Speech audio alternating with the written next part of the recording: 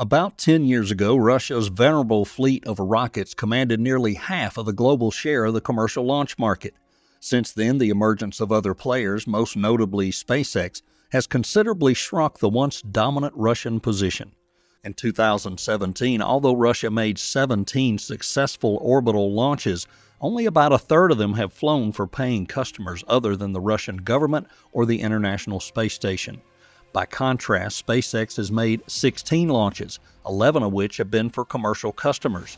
SpaceX projections for futures suggest that disparity will continue to grow if the company continues to increase the flight rate of the Falcon 9 rocket. Recognizing its dimming market position, the Russian rocket corporation Energia has fast tracked the development of a new medium class launch vehicle they call the Soyuz 5. This rocket could replace the existing Soyuz rocket that carries cosmonauts and astronauts into space while competing for SpaceX commercial payloads. According to the Russian space reporter Anatoly Zak, Russian officials had high hopes for the launch vehicle. Even more importantly, the Kremlin saw the new generation vehicle as the Russian response to the American challenge on the commercial launch market, making the work on the Soyuz 5 booster especially urgent, Zak writes. Pitifully, six years passed, and Russia spent nearly a billion dollars on developing the new Soyuz 5 rocket, but Soyuz 5 still has not left the ground. More seriously, Kazakhstan's recent seizure of Russian space assets threatens the Soyuz 5 rocket. This is the endgame for Soyuz 5. Let's find out more in today's episode of Alpha Tech. The Soviet Union created the Baikonur Cosmodrome in 1955 to serve as a test site for intercontinental ballistic missiles. A few years later, it became the world's first spaceport with the launch of the historic Sputnik 1 and Vostok 1 missions. The sprawling Cosmodrome was a mainstay of the Soviet space program. After the breakup of the Soviet Union, Russia leased the spaceport from the government of Kazakhstan and currently has an agreement to use the facility through the year 2050. In 2011, when the U.S. mothballed its space shuttle program, the Russian Soyuz rocket and the Baikonur became the only way to send manned missions to the ISS. Russia pays an annual lease fee of about $100 million. Neither country is particularly happy with the relationship.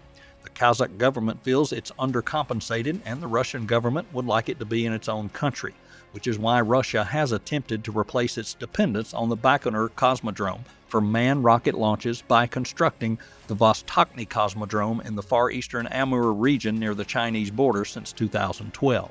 However, that project's been marred by allegations of corruption, with dozens of individuals involved in the planning and construction of the facility arrested on embezzlement and fraud charges in recent years. Despite some of that uneasiness, however, the two governments have been working together on future space projects. For example, the main Russian space corporation Roscosmos has been developing new medium lift rockets that anticipate launching from Baikonur. This is the Soyuz 5 vehicle, a three stage rocket powered by RD 171 engines that will burn kerosene fuel.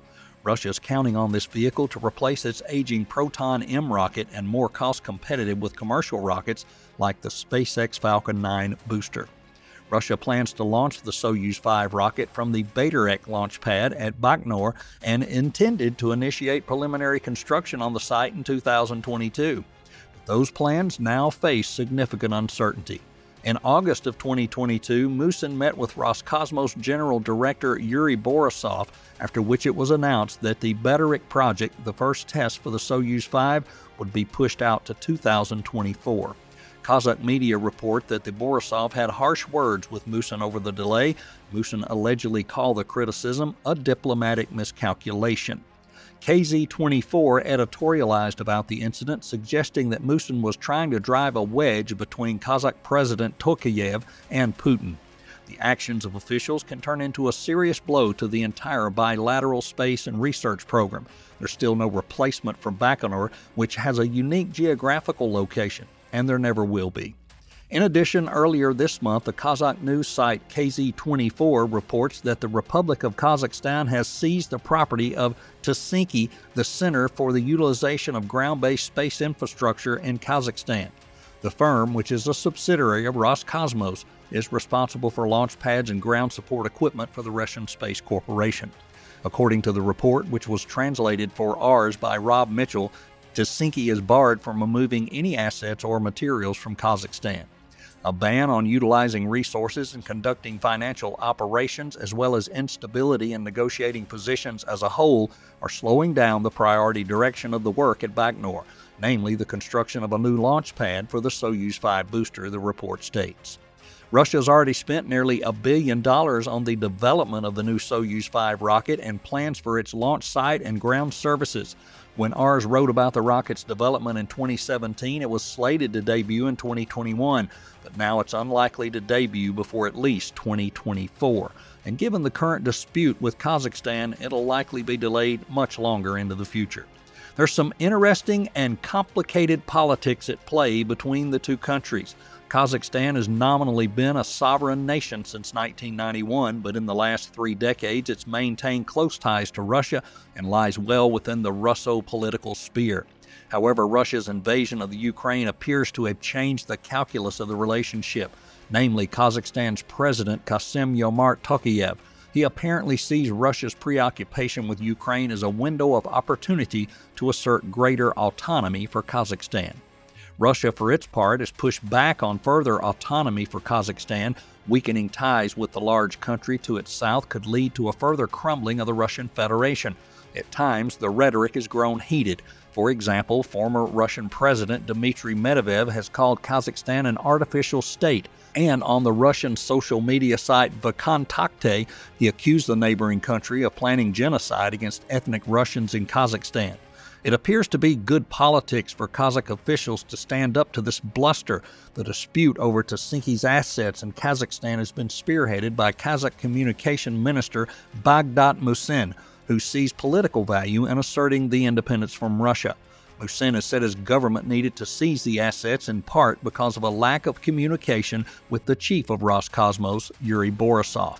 Borisov, who prefers to keep a low profile and at least in his public dealings with NASA, has struck an apolitical posture.